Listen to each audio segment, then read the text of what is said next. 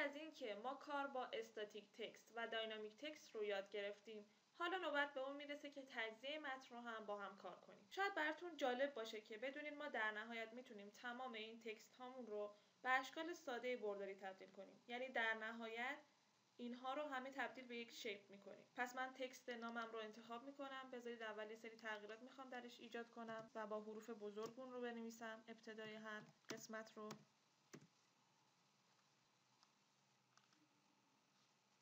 حالت selection میرم.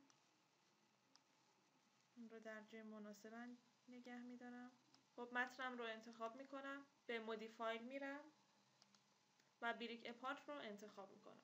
شما می‌بینید که text من رو به قسمت های مختلفی تبدیل کرده. در واقع هر کاراکتر و حرف رو تبدیل به یک تکست مجزا کرده.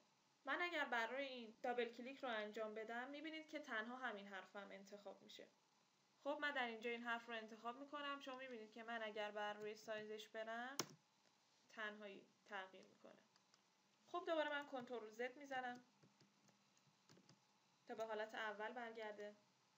حالا که تکستمون رو به حالتهای مجزا تبدیل کردیم خب این رو به پایین میارم. دوباره می‌تونم همه اون رو بگیرم به مودیفایل برم و دوباره بریک اپارت رو انتخاب کنم. اینو بر سر جاش می‌ذارم خب. بعد از این کار می‌بینید که تکست من به شیپ های ساده ای تبدیل شده و الان متن من مثل یک شیپ میمونه و اگر من اون رو هر قسمتش رو حالا بخوام بکشم می‌بینید که خیلی راحت کشیده میشه. حالا من می‌تونم با ابزار بیشتری طراحی خودم رو ارتقا بدم. من می‌تونم به اینک باتل تول برم و بر روش کلیک کنم.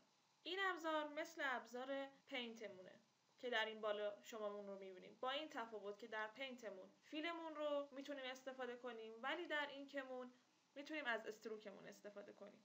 من می‌تونم بر روی کلمه اولم برم و اون رو انتخاب کنم پررنگ ترش کنم که شما در اینجا تفاوت رو دارین می‌بینید. بقیه مواردم همینطوری می‌تونیم بر روش کلیک کنیم و بهشون stroke بدیم. خب من تا آخر میرم. یادتون باشه که این نقطه هایی که بالای i هست هم حتما بزنید. خب از حالت زوم برمیگردم. center رو می‌زنم. بعد selection رو انتخاب می‌کنم. خب این رو به پایین بیاریم. کل متنم رو در اینجا انتخاب می‌کنم. می‌بینید که به شیپ تبدیل شده. خب در اینجا ما می‌تونیم استروکمون رو تغییر بدیم. مثلا بزرگترش کنیم. می‌بینید تغییرات رو در اینجا که خیلی پررنگ شد. دوباره تمامش رو می‌گیرم. مثلا می‌تونم بر روی دو بذارم. یا اینکه استایل رو تغییر بدم. طبق اون چیزایی که بهتون در جلسه قبل گفتم. می‌تونم روی براش لایبرری برم و هر کدوم از این موارد رو که مد نظرم هست رو انتخاب کنم. مثلا من براش رو بخوام انتخاب کنم و ازش خارج میشم. شما تفاوت رو در اینجا می‌بینید. مثلا این کار رو داشته باشین این قسمتش. کار دیگه که می‌تونم انجام بدم اینه که در قسمت ویکتم هست. می‌تونم هر کدوم از اینها رو انتخاب کنم و شما تغییرات رو ببینید